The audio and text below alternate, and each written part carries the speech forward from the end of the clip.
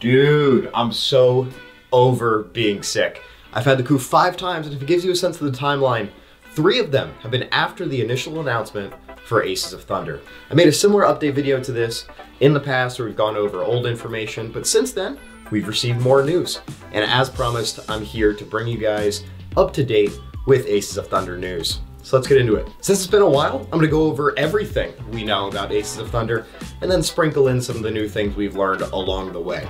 So 11 months ago, PlayStation dropped a trailer on their YouTube channel that nobody saw coming. Despite being a VR game and a PlayStation exclusive, the video quickly racked up close to 1 million views. What was revealed was that a team of developers had been working to make VR War Thunder available for PSVR for a few years, but just could not get it to function. And after realizing that the hand controls, which was the main thing that was giving them issues with implementation, would not be possible to implement within the base game, they moved on to create a separate game that could include that, i.e. Aces of Thunder. Now this means that they have to make fully interactable cockpits, so they can't just simply drag and drop aircraft from War Thunder and put them into Aces of Thunder. They need to actually do some hard developing. So they had to really choose which era of aircraft they wanted to include in their game. From the trailers, we can see they've obviously chosen World War II, and more specifically, rank 2 to 3 when it comes to War Thunder equivalents. All of the aircraft included come from five different nations. They are America, Britain, Germany, Russia, and Japan, with the aircraft listings as follows. From what I've been able to piece together from promotional videos and images and things that they've said, these are the aircraft coming to America. You have the P-63, the P-51C model, the P-47 Razorback, which is an interesting choice to not use the bubble canopy in a VR game, and the Helldiver. And Britain's got what looks like two variants of the Spitfire, including the Mark 5B tropical variant and the Mark 2B. Um, I'm not really sure about the Mark 2B. It could be something else, but that Mark 5 trop uh, is almost 100% confirmed. We also have the Typhoon with their 12 machine guns and the Mosquito for their ground attacker. Uh, all of these nations try to have at least one ground attack aircraft, some of them with a backseat gunner included. So that leads us to Germany. So Germany's lineup includes two variants of the Bf-109, including what is likely an F4 and the G2 tropical variant, uh, but I'm not too sure about those, the specific variants. Um, and then their attacker is gonna be the Bf-110. Russia's got what looks like the LA-5N. They have the IL-2M uh, with the backseat gunner, the 1943 variant. And recently they showed what looks like a Yak 9T in a promotional video to show off their cockpits. To kind of stick with the theme of having two variants of some type of fighter, I would assume that the one that they would go with would be another version of the Yak, but I'm not really sure which one they would want to go with.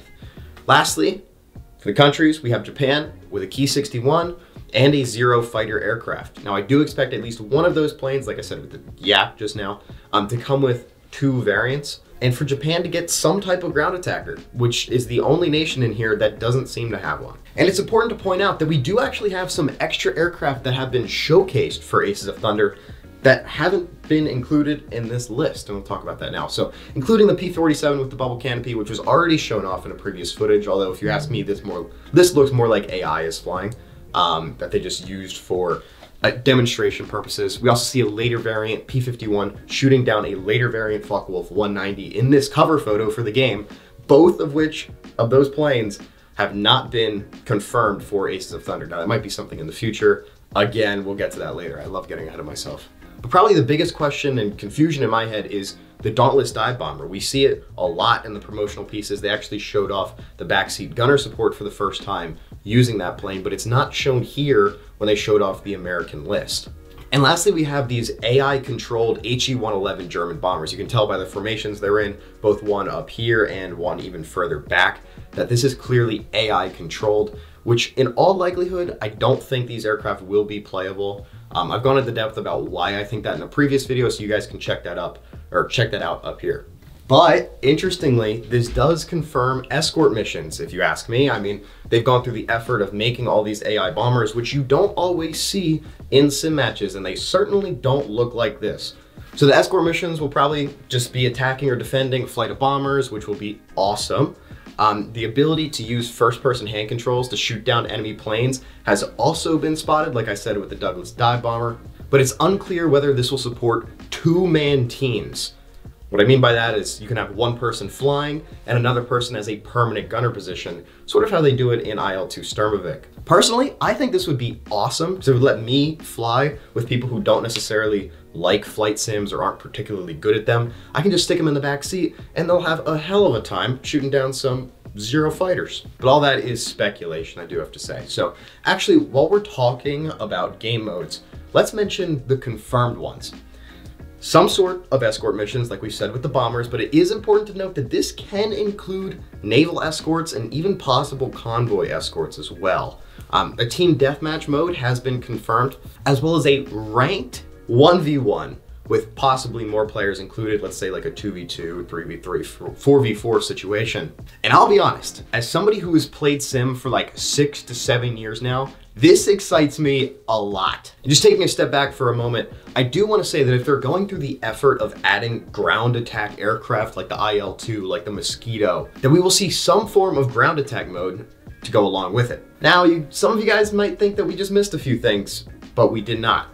Um, this may sound like a missed point to some, but they have said that Aces of Thunder will be multiplayer only, so no single player campaign or missions. Personally, I think this is great, and just let me explain. I think the devs are focusing their energy where it really matters, where the longevity is going to be important in the online mode. And I can say this knowing Gaijin's history of making campaigns, which you guys have played War Thunder, even the tutorials, even some of the historical missions, some of the historical campaign that they have going on, super duper air quotes on that. It is atrociously bad. Like, they're horrible. But others are worried that Aces of Thunder's longevity without it um, will be a possible wane on the player base because it is a, fight, a flight sim exclusive to PSVR 2 that's already a small player base. Um, I think that if you add that single player mode, you're actually going to split the player base even more, and then you won't have as many in the online mode to keep it alive. That's just me personally, but I mostly play online games because I like the competitive nature of them.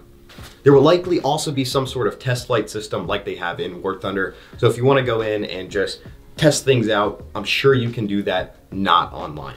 But it is important to remember that Aces of Thunder will be a flight sim. It will also have fully interactable cockpits that you can interact with with just your hand controls. Ugh. Ow. Uh, that'll be that'll be these. You can interact with the cockpit, including canopies, flaps, throttle, gear, ignition, obviously stick controls um, built into the to be used. And if you're like me and the thought of using virtual hand controls for a flight sim makes you throw up a little, then you're in luck because Thrustmaster HOTAS has been confirmed for Aces of Thunder. If you don't know, HOTAS stands for hands-on throttle and stick, so flight stick support is confirmed for Aces of Thunder. Which is news, by the way, that was initially broke when the developers directly responded to my question about it. So, you know, make sure to stick around. That being said, uh, they did have very poor communication when the game was first announced, which was my main gripe with them. That has now indeed been fixed. So no more six months of waiting to hear from the developers. Development has seemed to pick up substantially and it seems like they are within the last stages of testing. They've said that, and they've claimed that they are running tests day and night at a stable 90 FPS for PSVR 2. Which, if you don't know, that frame rate will be super important to negate some of that tummy turning lag which certain VR games tend to give. However, despite increased communication, we still do not have a release date for Aces of Thunder. And to this, I say be patient. Let them do their thing. This is a passion project from the people who want to provide us with a unique gaming experience and giving them arbitrary hard cap deadlines like Suits in a AAA company has not showed a historical uh, precedence of turning out quality games recently. And that's what we want. That's what we care about ultimately is the quality of this game. Quality above everything else. And that being said, I do personally expect a release date somewhere around the beginning of the summer, maybe to midsummer of 2024, so this year. And it will not be a full price game, so it seems like they've come out and said that it's gonna be like 30 to $35, but it's important to remember that unlike War Thunder, there will be no grind involved. Everything including aircraft, maps, and modes will all be available immediately upon purchase with confirmed additional aircraft coming in the future for no added cost. I mean, it, it's free DLC. And while we still don't have a release date, what we do have is my promise to you to keep you guys updated on Aces of Thunder news. Since March of last year, I've stayed true to my word. I made 12 videos keeping everybody posted. And not for not, but I don't see a ton of other creators covering this game. And I'm somebody who's been playing the game that it's been ported over from for seven years now, as well as making content on it. So if you're interested in Aces of Thunder, please subscribe. I'll be giving you guys all the tips when the game releases, as well as keeping you updated along the way. Thank you all for watching. Adios.